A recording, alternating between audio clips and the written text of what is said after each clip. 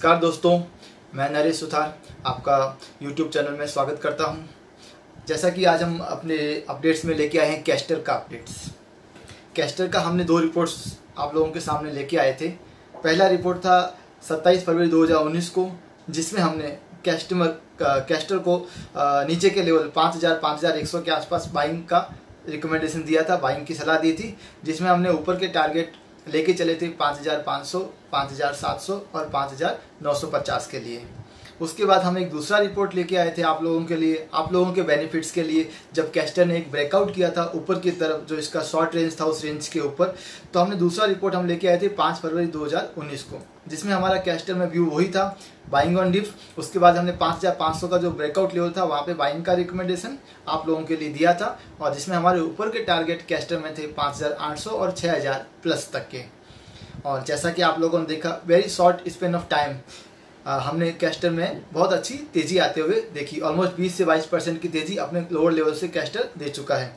अब हम बात करें कि 12 अप्रैल को जो कैस्टर ने हाई बनाया था, वो हाई बनाया था अपने पुराने सेवंथ मंथ हाई को। 6234 का इसने हाई टच किया था। ये जो 6234 का जो हाई बना था एनसीडीएफ कैस्टर मई कॉन्ट्रैक्ट में ये अपने सात महीने के हाई के ऊपर था। तो वहाँ से हम लोगों को लगा चार्ट के ऊपर कि अभी यहाँ से प्रॉफिट बुकिंग करनी चाहिए।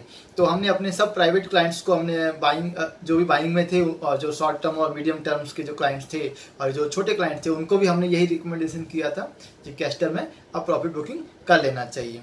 उसके बाद 12 फरवरी बारह अप्रैल को जो हाई बना, उसके बाद हमने 15 अप्रैल से इसमें प्रॉफिट बुकिंग आते हुए देखी। तो हमने अपने सभी क्लाइंट्स को कंपनी के क्लाइंट्स को भी और प्राइवेट क्लाइंट्स को भी ये रिकमेंडेशन किया था कि कैस्टर यहाँ से शॉर्ट जाना चाहिए। कैस्टर अपने यहाँ पे चार्ट में एक ऐसा एक पैटर्न बन रहा है, जिससे ऐसा लग रहा है कि कैस्टर में एक बहुत ज़बरदस्त हैवी प्रॉफिट बुकिंग आनी चाहिए।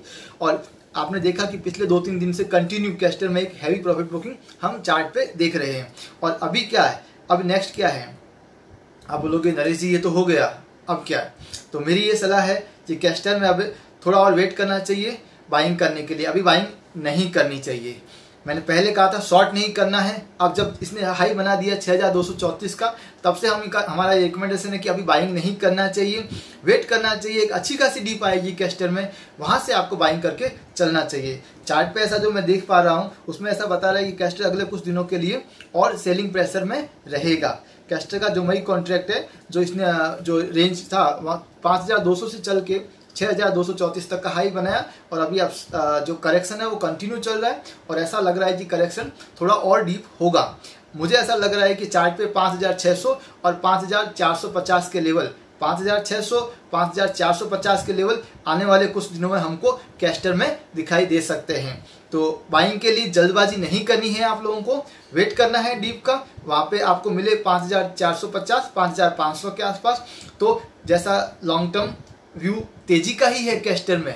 तो वहाँ से बाइंग करके चलने पे हमको आने वाले अगले कुछ समय के लिए और मुनाफा अच्छा देखने को मिल सकता है और जो पुराने हाई हमने देखे हैं वो भी अपने को और अच्छे ऊपर के लेवल दिखाई दे सकते हैं। तो वे आ, मेरी सलाह यही रहेगा कैस्टर के व्यापारियों के लिए ट्रेडर्स के लिए कि यदि आप पैसा बनाना चाहते हैं कैस्टर में वेट कीजिए डीप आने का प्राइस आपको नीचे मिलेगा वहाँ पे आप बाइंग करके चलिए और ऊपर के टारगेट जो पहले के टारगेट थे वो सेम रहेंगे 6000 प्लस आपको आने वाले समय में दिखाई दे सकते हैं। धन्यवाद।